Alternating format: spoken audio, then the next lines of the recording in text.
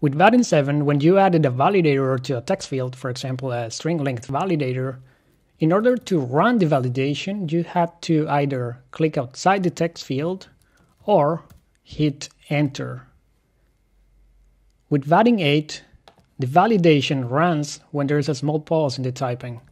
So as you can see, I'm not hitting enter or clicking anywhere, and I get the validation uh, indication here immediately.